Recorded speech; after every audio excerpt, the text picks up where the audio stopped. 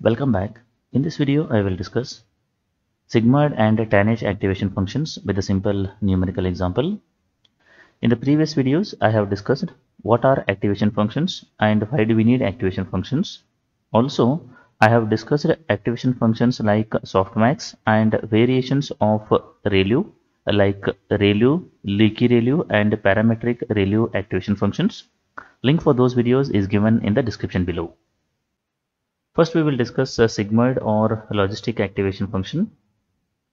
This function takes any real value. For example, the weighted sum may be any real value that will be given as an input to this uh, sigmoid function.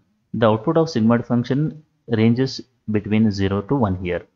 That is the minimum value of uh, the sigmoid activation function is 0 and the maximum will be equivalent to 1 in this particular case. Mathematically, sigmoid or logistic function can be shown something like this f of x is equal to 1 divided by 1 plus e raised to minus x where x is the weighted sum. When you pass uh, weighted sum to this particular function you will get the output in the range of 0 to 1 over here. If the input is uh, higher side then the output will be 1 here. That is you can notice here the input is 6 the output will be equivalent to 1 in this particular case.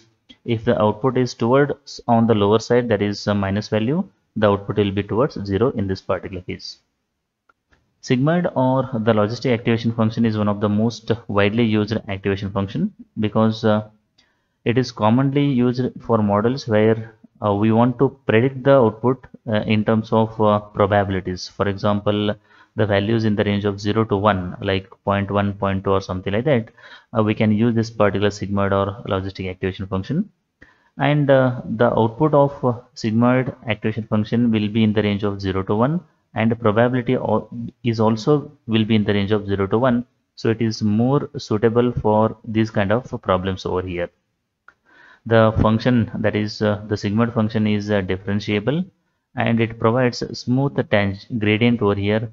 Because of that uh, we don't get any jumps in the output values. That is the one thing. As well as we can use this particular thing in backpropagation algorithm also and uh, this uh, logistic or sigmoid activation function looks like uh, S shape in this particular case.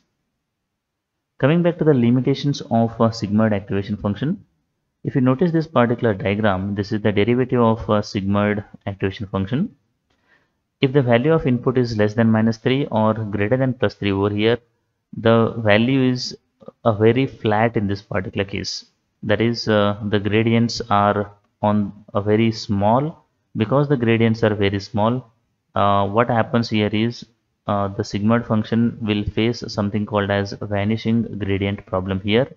Because uh, we don't get much changes into this particular gradients we don't get much changes into the uh, can say that the weights. If you are not able to get uh, changes in the weights the learning will become very slow as well as uh, uh, the network will face something called as vanishing gradient problem over here Coming back to the second uh, nonlinear activation function that is known as uh, tanh or hyperbolic uh, tangent here.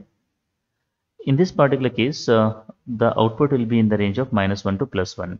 In sigmoid activation function, the output was in the range of 0 to 1. In this case, it is minus 1 to plus 1. If the input is on the higher side, the output will be 1. If the output input will be in, on the lower side, the output will be minus 1 in this particular case. Mathematical representation of uh, tanh function looks something like this. f of x is equal to e raised to x minus e raised to minus x divided by e raised to x plus e raised to minus x where x is the weighted sum of the neuron.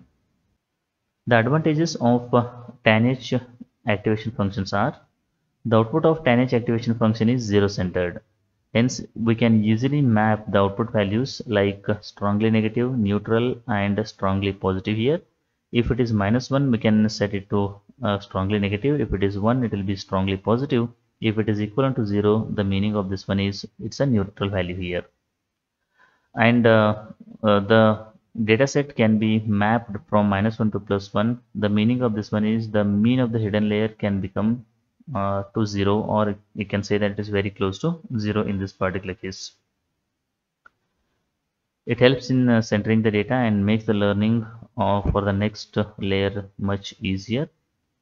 The derivative of uh, tanh function looks uh, something like this. Similar to the sigmoid activation function, it also suffers from something called as vanishing gradient problem because if you look at this particular diagram, below minus 3 and above plus 3, the gradients are flattened here. Because they are flattened, there will be uh, much uh, low learning uh, happens here. Because of that, they face something called as vanishing gradient problem over here.